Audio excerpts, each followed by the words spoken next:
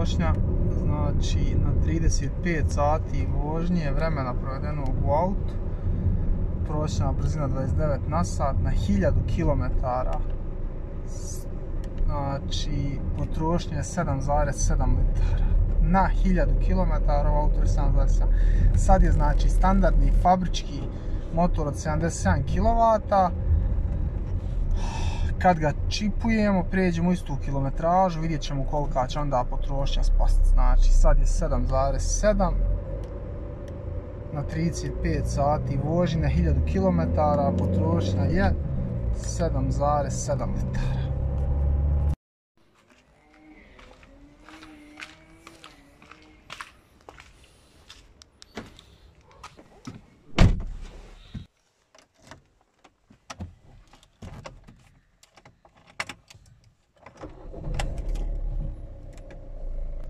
Zdravo svima. Ovaj video snimamo sad. E, da vidimo samo, bit će jedan video ovaj sad koji ste gledali prije.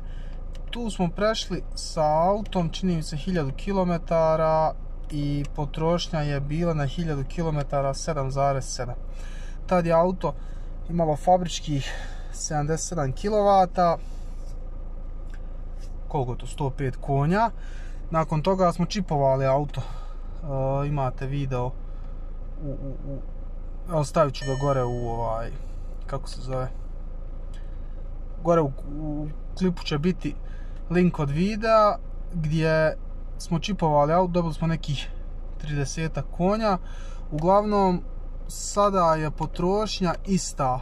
Uh, znači, ovdje smo prešli 1000 km, sad smo prešli 450, to je otprilike pola potrošnja je 7,7 litara.